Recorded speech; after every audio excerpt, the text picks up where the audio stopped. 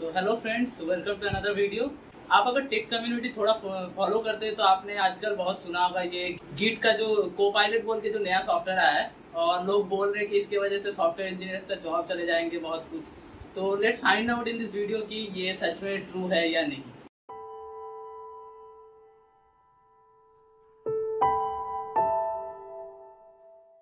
तो आप अगर इस चैनल में नए हैं तो वीडियो को प्लीज़ लाइक करें और मेरे चैनल को सब्सक्राइब करें। तो let's get back to the main topic A I based जो ऑटो कम्प्लीशन का टूल्स है, ये बहुत नया कॉन्सेप्ट नहीं है, ये काफ़ी पुराना ही है, हमने पहले भी यूज़ किया हुआ है, लेकिन अभी जो सडनली ये गिट का जो को पायलट वाला है, ये थोड़ा ज़्यादा फ़ेमस हो रहा है मतलब आर्टिकल्स वगैरह में ज़्यादा पब्लिश कर रहे हैं लोग, क्योंकि ये थोड़ा सा डिफरेंट है, नहीं तो ये कॉन्सेप्ट सेम ही है कि ए आई बेस्ड जो कोड का सजेशन है, वही होगा। और ऐसे बहुत सारे एप्लीकेशन पहले भी है, जैसे कि आपने सुना होगा टैब नाइन बोल के एक सॉफ्टवेयर है बहुत फ़ेमस है और बहुत यूजफुल है मैं भी यूज़ करता हूँ। और एक एमिट बोल के जो सॉफ्टवेयर है वो मतलब एप्लीकेशन से एक तरीके से स्पेसिफिकली एच और सी के लिए बहुत मतलब यूजफुल है मैं भी यूज़ करता हूँ रेगुलरली ये इन, इन्होंने इनका नाम इसका नाम क्यों ऑटो पायलट दिया इसके पीछे थोड़ा सा बैकग्राउंड स्टोरी है मतलब इसका ओरिजिन है कि जो एजाइल सॉफ्टवेयर डेवलपमेंट का जो प्रोसेस होता है उसमें एक कॉन्सेप्ट है मतलब अलग अलग तरीका टेक्निक्स है प्रोग्रामिंग मतलब करने का उसमें से एक टेक्निक है पेयर प्रोग्रामिंग करके, और अलग अलग कुछ है, उसमें से एक फ़ेमस है, और जो कि एक्सट्रीम प्रोग्रामिंग तो मैं इनका लिंक्स दे दूँगा कुछ आर्टिकल्स के, अगर आपको इसके बारे में थोड़ा ज़्यादा पढ़ना तो इन इजी वर्ड्स जो पेयर प्रोग्रामिंग है, उसमें क्या होता है? दो जो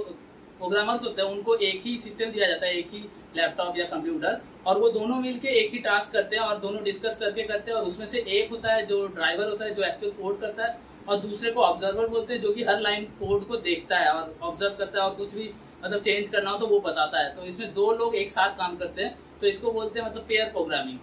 तो ये गिट गिट का जो को पायलट है, ये उन्होंने ऐसे मतलब पोर्ट्रे करने की कोशिश की है कि ये जो हमारा सॉफ्टवेयर है, ये एक तरीके से पेयर प्रोग्रामिंग का काम करेगा और इसीलिए इनको इन्होंने नाम दिया को पायलट एक तरीके से मतलब हम जो कोडर है, हमारा नाम है पायलट और ये हमारा को पायलट ऐसे टाइप का दिया है। तो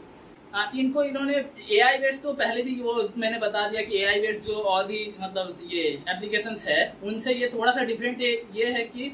जो पिछले वाले जो A I waits auto completion था, वो मोस्टली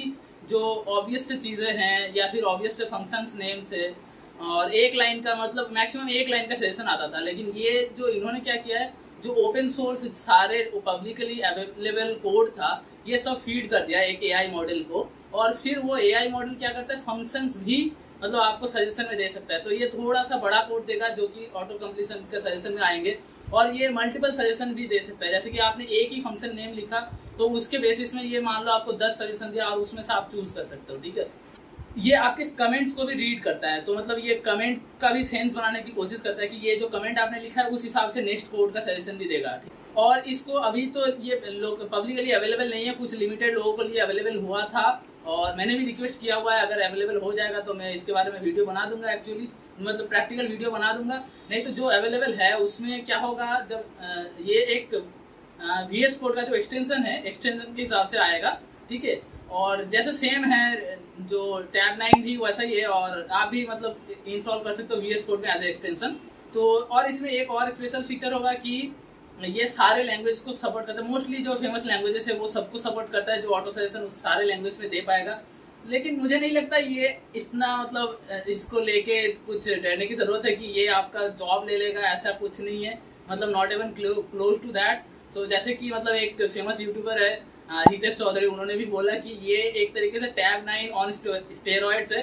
बाकी इसमें कोई मतलब ऐसे टेंशन लेने की कुछ बात नहीं है। लेकिन इसका छोटा सा यूज़ जो मैं देखता हूँ मतलब बाकी जो ए आई बेस्ड सजेशन है, उससे थोड़ा सा ये हेल्पफुल हो सकता है कुछ जो स्मॉल फ़ंक्शन है उसके इसमें जैसे कि गेट ए रैंडम नंबर या फिर इज़ इज़ प्राइम टाइप के जो फ़ंक्शन है, जो स्पेसिफिक है, और हमें सबको पता है इसमें होना क्या है। तो वैसे टाइप के फ़ंक्शन जो है, ये उसके लिए यूजफुल हो सकता है। अदरवाइज़